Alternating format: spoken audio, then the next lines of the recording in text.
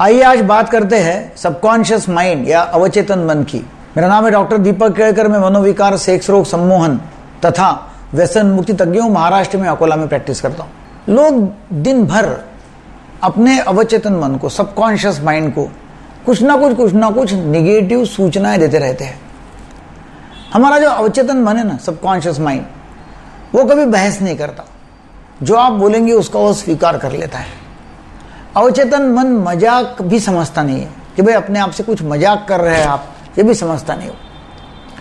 आप यदि अपने आप से ये बोल रहे हैं कि मैं ये नहीं कर सकता, मेरी उम्र ज़्यादा हो गई है, या मैं ज़िम्मेदारी नहीं उठा सकता, या मेरा जो घर है वो गलत जगह पे है और घर में लोग गलत है, वो ठीक जगह पे नहीं है, लोग भी ठीक नहीं है, मैं जो लोग मेरे आसपास के वो सही मैंने चुना नहीं है, या सही लोग मेरे आसपास में नहीं है अभी कोई रास्ता बचा नहीं है, मैं तो फंस गया हूँ।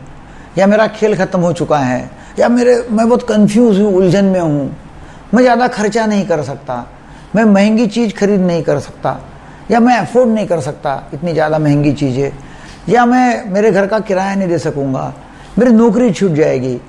या मतलब इतने सारे जो बातें जो है कि मैं ये नहीं कर सकता, उसके बदले आप ये जो निगेटिव सजेशन देते रहते हैं निगेटिव सजेशन चालू है देना तो उसको ये समझता नहीं है कि ये सजेशन जो है वो सच्ची बात है, या अपने आप को बोल रहे हैं या मज़ाक कर रहे हैं।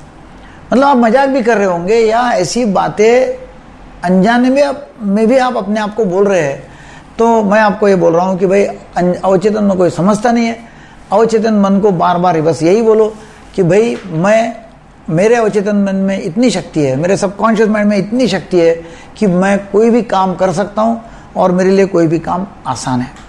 यदि आप बार बार कहते हैं और उसका विजुअलाइजेशन भी करते हैं, उसके प्रति एक्शंस भी लेते हैं तो दुनिया की कोई भी चीज़ आप हासिल करोगे। तो आज से नकारात्मक वाक्य, नकारात्मक सेंटेंसेस बोलना बंद करने का है। क्योंकि अवचेतन मन को ये मालूम नहीं कि ये वास्तव में है कि आप अपने आप से ऐसे बोल रहे हैं। उसको लगता है कि जो आप बोल रहे हैं, जो अंदर घुस रहा है वो सही तो अपने आप से निगेटिविटी निगेटिव बातें बोलने का नहीं निगेटिव थिंकिंग आती भी है तो भी बोलने का नहीं अपने आप से। अपने आप से ये बोलना है कि आसान है, मैं ये कर सकता हूँ। मेरा पूरा विश्वास है कि मैं आसानी से कर सकूँगा। यदि आप ये बोलते हैं तो आपको जीत कभी भी मिल जाएगी। आपको सफलता मिलेगी। कहाँ भी आप हाथ डालोगे, कोई भी चीज़ में हाथ डालोगे तो आप सफल हो जाएगी। आपको वीडियो अच्छा लगा तो ज़रूर शेयर करो सब्सक्राइब करो। Thank you very much